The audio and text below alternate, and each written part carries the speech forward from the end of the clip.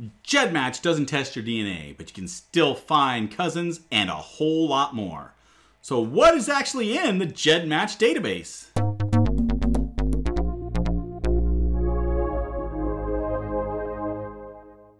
Howdy, I'm Andy Lee with Family History Fanatics, and this is a segment of DNA. Be sure to subscribe to our channel and click on the bell if you want to be notified about upcoming episodes. GEDmatch is a database that you can submit your raw DNA files to and be able to match with the 1.2 million other people who have submitted their files already. GEDmatch is not a testing company. You can't buy a DNA kit from them. All you can do is upload the data from the other testing companies. Now, why would you want to do that? First off, GEDmatch has some different tools and a different way to analyze and look at your DNA and be able to match with other people. The second reason is that for some of the companies, the only way to match with people in their database is to be in their database. Namely, 23andMe and Ancestry don't allow transfers of outside DNA kits into their databases. Considering that these two companies have 75% of all the DNA tests that have been done, if you're not in one of those databases, you could be missing out on dozens or even hundreds of potential matches. GEDmatch was a solution to this problem by allowing uploads from all of the companies. However, it is still up to each individual to choose whether or not they want to upload their information to GEDmatch. And based on the size of GEDmatch at 1.2 million, less than 10% of all the DNA test kits that have been made have been uploaded to GEDmatch. I wanted to get an idea of which customers of which company use GEDmatch the most. And in order to do this, I had to extract some information from the GEDmatch database. Now, GEDmatch labels your kit according to the company you tested at. An A for Ancestry, an M for 23andMe, an H for MyHeritage, and a T for Family Tree DNA. To figure out how many total tests were from each company, I needed a large set of valid kit numbers, and then I could count up the number of A's, M's, T's, and H's. I manage several kits at GEDmatch, and so for each one, I did a one-to-many match. And this gave me 2,000 kit numbers for each one of them. I stuck all these numbers in a spreadsheet, removed all the duplicates, and ended up with almost 21,000 unique kit numbers. Then it was a simple matter of adding up all the A's, T's, M's, and H's. Now this chart shows what those results were. You can see that Ancestry has the most number of kits in the database, followed by 23andMe, and then Family Tree DNA, and lastly, MyHeritage. There's also the other category, which includes kits from Living DNA, from WeGene, as well as some other companies. And it includes kits that have been manufactured, like the ones that law enforcement may use, or my combined kit, where I actually took the information from all of my tests and combined them into one kit. The other category is a really small percentage of all the kits on GEDmatch, so I'm not going to discuss it much here.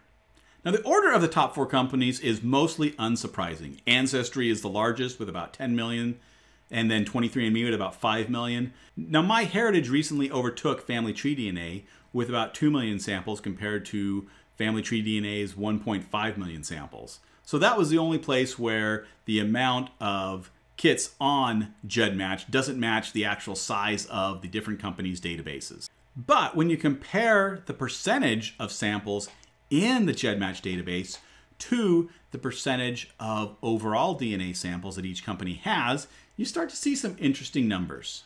Both Ancestry and Family Tree DNA have a larger representation in the GEDmatch database than you would expect just from their overall database size. 23andMe is less represented, and at the very bottom is MyHeritage, which is far below what we'd expect based on their database size. Now, why this disparity? I can think of a few reasons, but it doesn't cover everything. First, Family Tree DNA has always been the genetic genealogy company that caters to the serious genetic genealogist.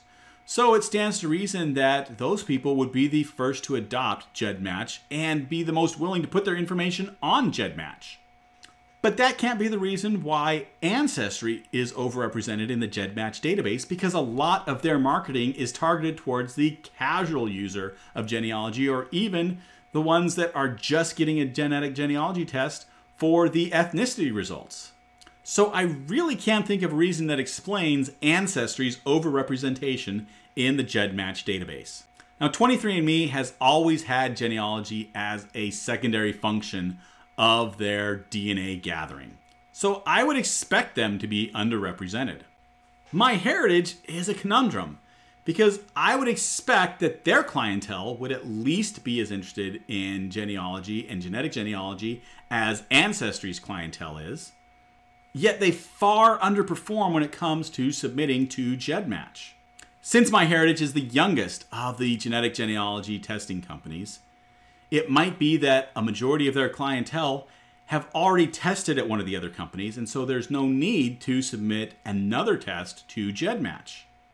Or another explanation is that they might have just had so much recent growth that a lot of their customers haven't even had the opportunities to submit their information to GEDmatch. Maybe in another year, when I redo this analysis, I can see whether or not anything has changed that would help me to understand why MyHeritage seems to be so underrepresented in the GEDmatch database. So with these numbers, I also wanted to see what percentage of each company's clients have submitted their information into GEDmatch. So first I figured out how many samples in the GEDmatch database come from each company, and then I divided that number by the total size of each company's database. And you can see that over 11% of Family Tree DNA's customers have uploaded their information to GEDmatch, while only 1.4% of MyHeritage's customers have uploaded to GEDmatch. Ideally, I'd like all these numbers to be really close to 100%. But even if all of the companies were only at 11% like Family Tree DNA, then the GEDmatch database would double in size and it would be that much more useful. So if you haven't uploaded to the GEDmatch database, I'd urge you to go and check it out. It's free to upload and use their basic tool set. And I have videos with links in the description below on how to download your raw DNA file and upload those to GEDmatch.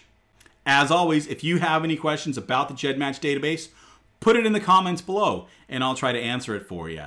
And if you like this video, be sure to give it a thumbs up and pass it on to your friends.